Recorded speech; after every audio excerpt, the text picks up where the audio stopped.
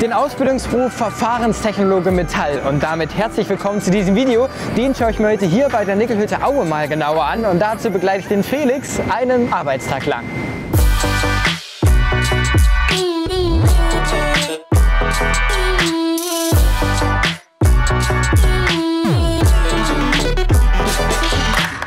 Felix, sag doch mal, was sind denn so deine Hauptaufgaben als Verfahrenstechnologe? Was machst du da so genau?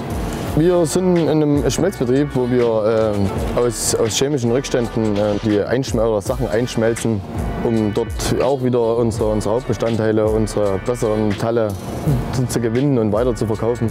Krass. Und was machst du da jetzt so genau? Also was sind deine Aufgaben? Es ist einmal eine Produktionsüberwachung, dass dort alles klar geht, dass dort äh, keine, keine Probleme auftreten. Bis hin zu, zu Abstichen bzw. das Metall eben aus dem Ofen wieder rauszuholen. Das ist sehr, sehr vielseitig. Ja.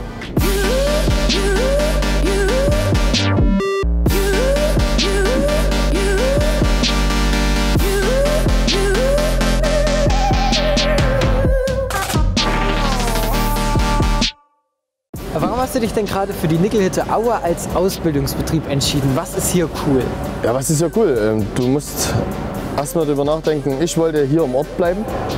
Dann ist die Nickelhütte hier ähm, eines der, der renommiertesten Unternehmen, wo ich gesagt habe, okay, da kannst du lernen, das macht dir wahrscheinlich Spaß. Ja, und das waren alles so die Aspekte, wo ich gesagt habe, hier möchte ich her.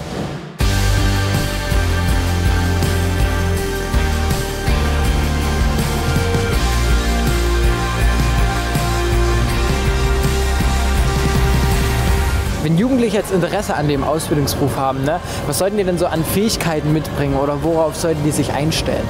Also Grundvoraussetzung ist eigentlich eine körperliche Fitness. Das ist eigentlich äh, das wirklich das, das äh, Grundargument, was man sagen muss. Aber ansonsten arbeitswillig muss man sein. Man muss versuchen, äh, auch selber Sachen zu hinterfragen, was man hier super erklärt kriegt.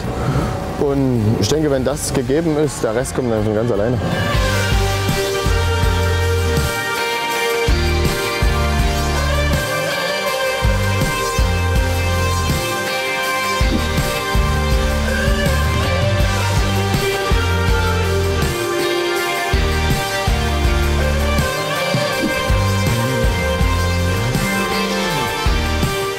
Felix, dein Arbeitstag ist jetzt rum. Ne? War auf jeden Fall mega interessant und spannend tatsächlich, was du hier so genau als Verfahrenstechnologe Metall so genau machst. Wirklich richtig cool.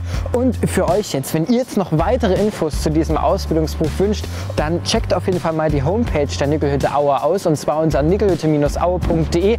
Lohnt sich auf jeden Fall. Die freuen sich natürlich auch, wenn ihr hier eure Ausbildung startet. Und da bedanken wir beide uns bei euch fürs Zuschauen. Macht's gut und tschüss.